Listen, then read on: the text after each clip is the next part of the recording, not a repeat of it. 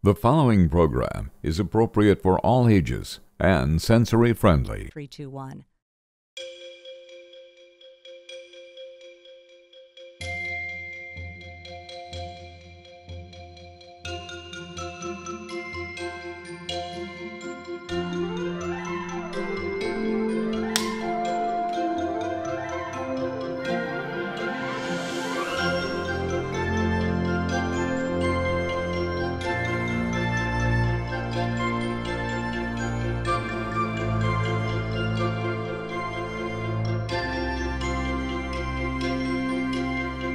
From the studios of the Autism Channel in Palm Beach, this is the Autism Channel World News with Tracy Cooper. Welcome to a special edition of Autism Channel World News for Friday, December 27th, 2013. On last Friday's news, Roger Badish brought us a closer look at the growing issue of women and the autism spectrum. For our final Friday edition of 2013, instead of zooming in, we'd like to zoom out. A lot has happened this year, and since September, the Autism Channel has been here to bring it to you five days a week. As we get ready to turn over the calendar, we'd like to take a look back at what we felt were the year's 10 biggest stories in the world of autism. Our list kicks off in Brazil, home of 2014's World Cup soccer tournament. That's where one of the most popular athletes on the planet found himself associated with the spectrum this year. Retired soccer player Romario tweeted that he believes FC Barcelona star Lionel Messi likely has Asperger syndrome. Romario cited similarities to Isaac Newton and Albert Einstein in our number 10 story of the year, adding that Asperger's would allow Messi to focus and concentrate better than others. Messi will compete in the World Cup this summer for his native Argentina. Another global celebrity made our list at number 9 this time coming forth herself with a diagnosis. Susan Boyle, breakout star of Britain's Got Talent, revealed that she was diagnosed with Asperger syndrome. Miss Boyle was previously misdiagnosed with brain damage from oxygen deprivation at birth, before a second opinion brought her to the spectrum. Susan's Boyle life story may be brought to the big screen in an upcoming motion picture. Our number eight story is a real knockout. Iron Mike Tyson made a visit to a school for children with autism. He not only delighted the students, but even kept his cool as one student spit in the one-time heavyweight champ's face. Tyson traveled to the Emirate of Dubai to visit the Dubai Autism Center, where he learned about autism and met a group of exceptional students who, in turn, had an exceptional experience that day. At number seven, the immunosuppressant rapamycin may be the key to improving speech and cognition in children with autism. This year, Boston Children's Hospital engaged in a clinical trial to explore the use of the drug on children with autism, with many of the participants' parents already reporting preliminary improvements in their children. Who rescued whom? That was the question in our number six story. Xena the Pitbull was on death's door when the Hickey family of suburban Atlanta adopted her, not only nursing her back to health, but connecting her with their autistic son Johnny. The time Johnny spent with Xena has made him more talkative and aware of his surroundings, while Xena is now a robust and healthy dog. For the difference she made in Johnny's life, the American Society for the Prevention of Cruelty to Animals named Xena their Dog of the Year. The world-famous Miss America beauty pageant saw its first contestant on the autism spectrum in 2013. Alexis Weinman, Miss Montana, not only competed in Atlantic City, but made the top 15 and with the most online votes in the field, she won the America's Choice Award. For bringing awareness to everything people on the spectrum can be, her achievement is our number five story of 2013.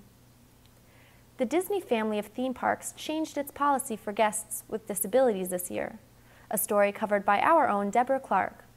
In our number four story, the parks discontinued the policy of allowing guests with disabilities, such as autism, unlimited access to the front of the line. The change came on the heels of abuse, with reports of wealthy families hiring people with autism to serve as tour guides for the purposes of cutting in line. The new policy calls for guests with disabilities to pre-schedule their accommodated ride times. In our number three story of 2013, a tragedy in the state of Michigan shocked the autism community this September when autism blogger Kelli Stapleton attempted to murder her 14-year-old daughter Issy after years of struggling to find adequate treatment for her autistic daughter. Kelli Stapleton had become familiar to many of us in the autism community, including our very own blog ladies, with her blog, The Status Woe.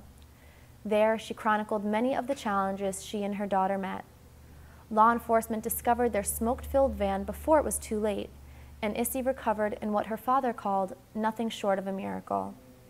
The news caused a schism in the community, with some stressing sympathy for the entire Stapleton family, while others unilaterally disavowed Kelli's actions. You may have heard the saying, just when I had all the answers, they changed the questions.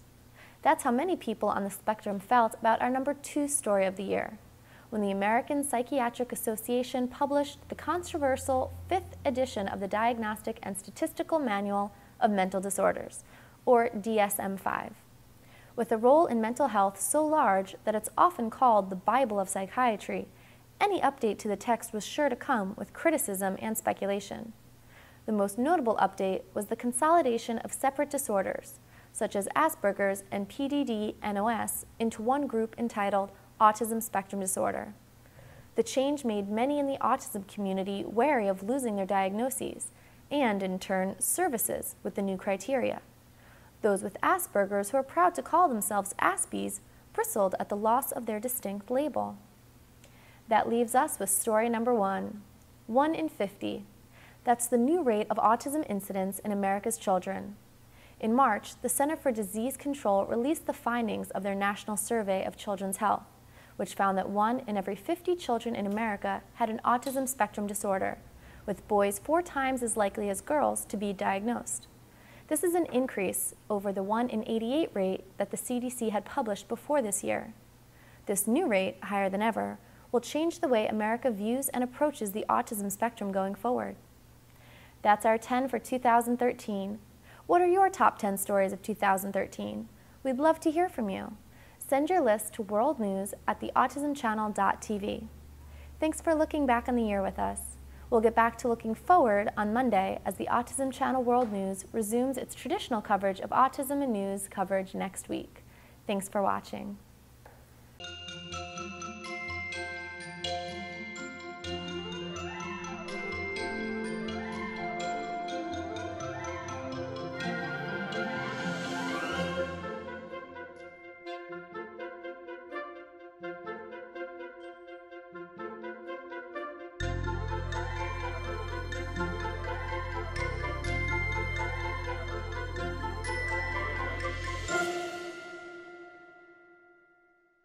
The Autism Channel needs your help.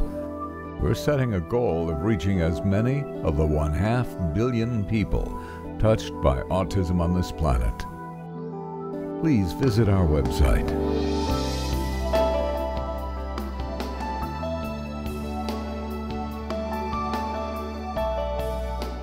Click to help us reach the world.